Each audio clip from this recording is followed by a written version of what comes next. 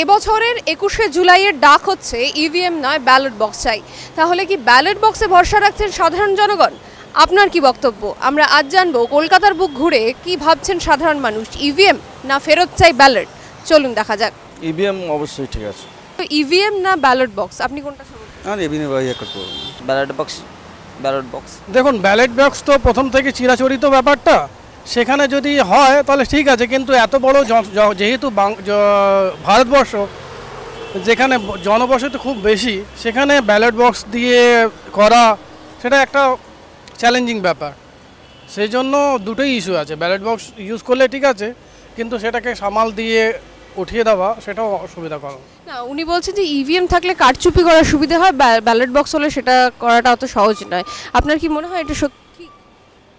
দেখুন টেকনিক্যাল ব্যাপার প্রত্যেকের জায়গায় একটা সংশয় থাকে প্লাস মাইনাস কিন্তু পুরো পুরোটাই সত্যি নয় আমি মনে করি।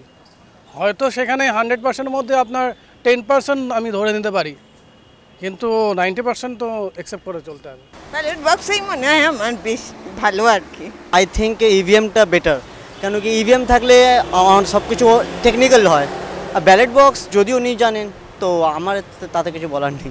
মনে হয় যে যদি কারচুপি কর- করাই যায় তো দুটোতেই করা যাবে। তো আমার মনে হয় ইভিএমটাই বেশি বেটার অবশ্যই ইভিএম কারণ ব্যালেট বক্স দেখুন একটা টেকনোলজিকে আপনার অ্যাকসেপ্ট করতে হবে। ব্যালেট বক্স হচ্ছে পুরনো টেকনোলজি যেটা আপনার গোনা এটা চলে না এখন। এখন যদি আপনি সেই ব্যাংকেই এটিএম সিস্টেম যদি তুলে দেন তো ইভিএম অবশ্যই মানে নিউ টেকনোলজি অবশ্যই অ্যাকসেপ্ট করা উচিত।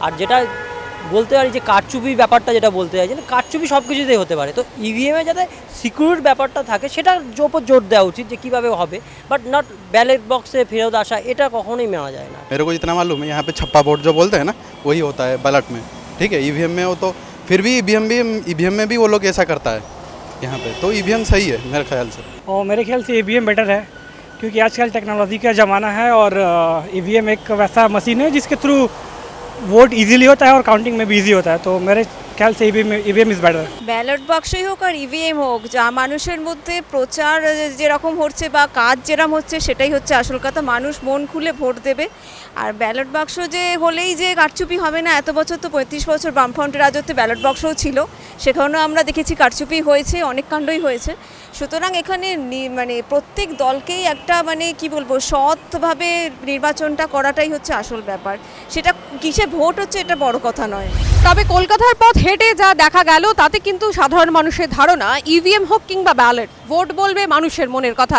এবং এতে কোনো বড় কথাই নয়, সেটা ব্যালট হোক কিংবা ইভিএম যেখানেই হোক ভোট কারচুপি করা সম্ভব কিংবা সম্ভব নয়, বড় কথা নয়। মানুষ বলবে মানুষের মনের কথা। ক্যামেরায় গৌতম দত্তের সঙ্গে নেহা চক্রবর্তী রিপোর্ট, চ্যানেল হিন্দুস্তান।